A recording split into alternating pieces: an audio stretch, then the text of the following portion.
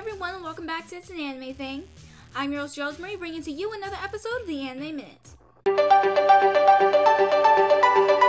To start off, the recently popular anime The Promised Neverland will be receiving a second season in 2020. Speaking of which, Toonami will be premiering the anime on April 13th. Next, the Sword Art Online Alicization War of Underworld anime has been set to premiere in October, which would make it the third of the four planned cours for the Alicization arc. Next, for all you Mob Psycho 100 fans, the series will be receiving an all new OVA, which will again be animated by Studio Bones. This new OVA will be premiering on July 7th.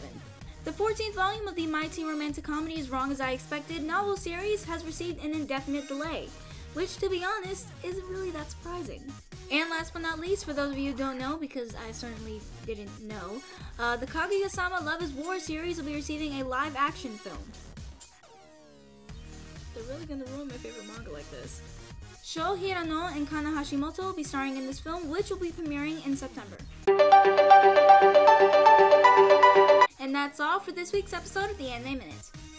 Don't forget to like and subscribe, and also don't forget to follow the It's an Anime Thing Instagram, Twitter, Facebook, podcast, and blog for more updates as well as other content. Links to all of those will be in the description below.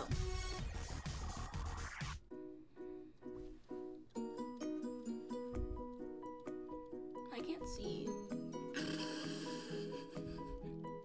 I can't see, says the one that has glasses. Okay. Next, you Sword Art Online Alicization anime. No. And last but not least, uh, for those of you who don't know, because I certainly didn't know, uh, the. I thought I told you to be quiet. Sho Hirano and Kanna Hashimoto will be starring in this film, which would. Oh, my bad. Links to all of those will be. The, oh, okay.